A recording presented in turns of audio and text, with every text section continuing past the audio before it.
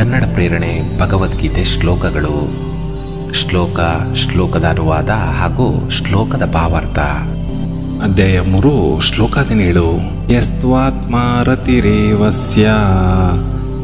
ದಾತ್ಮತೃತ್ತಶ್ವ ಮಾನವ ಆತ್ಮನೇವಾಚ ಸಂತುಷ್ಟ.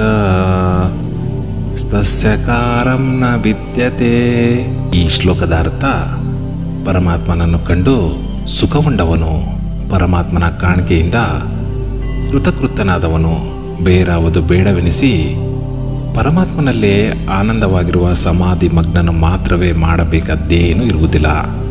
ಈ ಶ್ಲೋಕದ ಸಂಪೂರ್ಣ ವಿವರಣೆ. ಭಗವಂತನನ್ನು ಅಂತರಂಗದಲ್ಲಿ ಕಂಡು ಪಡುವ ಆನಂದ, ಆತ್ಮರತಿ ಈ ಸ್ಥಿತಿಯನ್ನು ಸಮಾಧಿ ಸ್ಥಿತಿಯಲ್ಲಿ ತಲುಪಬಹುದು. ನಿಜವಾದ ಸಮಾಧಿ ಸ್ಥಿತಿಯಲ್ಲಿ ನಮ್ಮ ಇಂದ್ರಿಯಗಳು ಮತ್ತು ಮನಸ್ಸು ಕೆಲಸ ಮಾಡುವುದಿಲ್ಲ. ಜ್ಞಾನ ಸ್ವರೂಪವಾದ ಜೀವ ಸ್ವರೂಪ ನೇರವಾಗಿ ಭಗವಂತನನ್ನು ಕಾಣುವ ಸ್ಥಿತಿ ಸಮಾಧಿ ಸ್ಥಿತಿ. ಈ ಸ್ಥಿತಿಯಲ್ಲಿ ಭಗವಂತನೊಡನೆ ನೇರ ಸಂಪರ್ಕ ಸಾಧ್ಯ.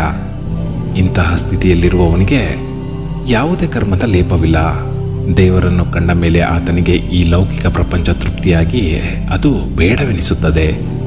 ಕೇವಲ ಭಗವಂತನ ಸಾಕ್ಷಾತ್ಕಾರದ ಆನಂದ ಸಾಗರದಲ್ಲಿ ಆತ ಮುಳುಗಿರುತ್ತಾನೆ.